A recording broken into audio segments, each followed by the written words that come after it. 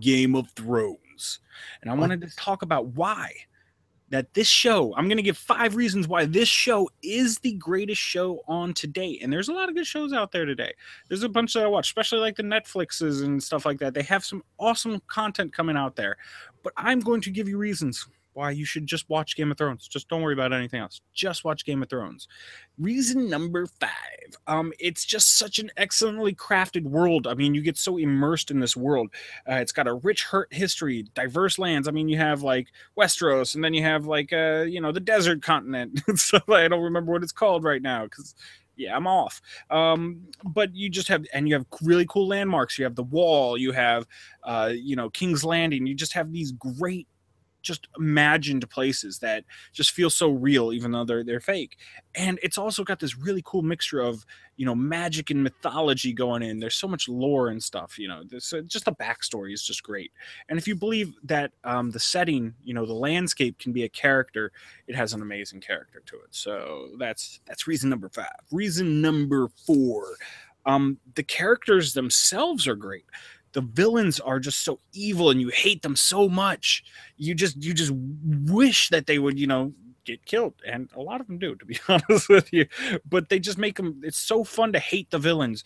And then you have the good guys. And whereas the good guys usually don't have too much of a longevity you really root for them. And and it really hurts when one of them gets pulled out early mm-hmm. earlier than you think they should at least. And so it just that really great mixture of villains and good guys. But then you have this whole gray area, which is another third of the cast, which is just so fun because you can't decide whether they're good or bad or whether you want to root for them or not. And it just it's just such a great mixture of I've never quite seen a show where it had just such a good mixture of good and evil and then in the middle. Mm. Usually they're like, okay, these are the good guys, these are the bad guys. Maybe one turncoat guy that you don't know one way or the exactly. other that goes back and forth but not just such a great range uh, of you know characters. So that's reason number four. Reason number three, uh, this kind of goes back to the landscape and everything, but the costumes are amazing. It really makes you feel like okay, this is this is its own world, and the sets are great too. When you when you're in the town of Can- King's Landing, it's awesome. When they're sitting on the wall, it's amazing. When they're in Winterfell, when they're in one of these these set places, it just it's every place is unique and has its own feel to it. And then all the people who are in those places all dress unique and they they really makes you feel like this is its own world. This is a real place. So it, it just really helps with the immersion of the entire show. So that's that's an amazing thing too. So i mean i, I just can't stop gushing about this show but let's keep on moving to number two. Um the writing. The writing has to be some of the best things ever. It just it masterfully tells a story. It balances it very well of jumping from character to character. And there's a lot of characters in this show. It's almost like a soap opera but you don't feel it so so sporadic. It it come bring comes to a, a character tells that story moves to another character tells that story then comes back or forward and and there's there's something like in the books i know there's something like 37 main characters. In the show there's probably like 13 14 main characters that you see the story perspective from at any given point in time and it doesn't ever feel like it's too much you know and that mm-hmm. that can be really a big thing you can get overwhelmed by a show like that where they're jumping from place to place and it just seems like they give you enough of each character uh, so that you feel like you know them and you know what's going on in their story and you just don't feel lost i mean there are places here and there where you, it can go off the rails you're like oh i don't remember that guy from a season or two ago but it, it just it's an awesome show. Brendan, have you seen the first season yet? Nope. Again, Brendan does not watch TV shows. All right. So reason I especially don't watch stuff I have to well, I guess I do watch stuff I have to pay for because I have to pay for Netflix. No, no, so. no, no, no. No, no, no, no, no. You still have my complete box set of season number one. And he's silent. Yeah. Is he not gonna are you are you just not gonna say you have it?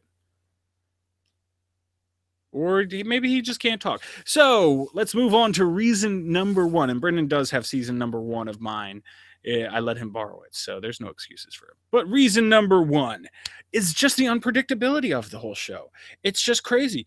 You never know what's going to happen. You might think you know what's going to happen. They might take your hand and lead you down this path to here. This is nice and easy. You are going to be able to figure out what happens right here. And then boom, you take a 180 and you go somewhere else. It's just absurd. You never know what character is going to die. And they've been doing this since since really the first and second season. Um, it's just it's once they attach it, once you really start feeling good about a character, is when they kill them. You know, you never know. The bad guys aren't safe. The good guys aren't safe. The guys in the middle aren't safe. You never know what's going to happen. People are just dying left, right, and sideways. And that's not all. The plot twists are amazing. They they're like, okay, hey, you think this? Well, now you're gonna have to think this. So it's just it's up, down, left, right, and sideways. Uh, this show keeps you guessing at all times. And I think that's part of the joy of it because you can't really see what's going on. You, you nobody sits there and like you see some of these movies where you can predict like, oh, I knew what the ending was going to be. Oh, I knew that guy was behind it all. You can't tell that with Game of Thrones. Nobody knows what's going on with this thing. It's so random and sporadic, yet it feels like it's well planned out. So, yeah, I, I think the the fact that it always keeps me guessing always keeps me on my toes is a reason why I love this show. So those are my five reasons why I love the show. If you've watched it, let me know what you think. Why why do you love the show so much? Again, I mean, I, I think there's plenty of other things that I love about the show, but those are those are some of the things that I think get me hooked, that make me feel that this is the best show on today. So hit us up, let us know, comments down below. Of course, at Words My Face on Twitter, Google Plus, Facebook, always good ways of getting.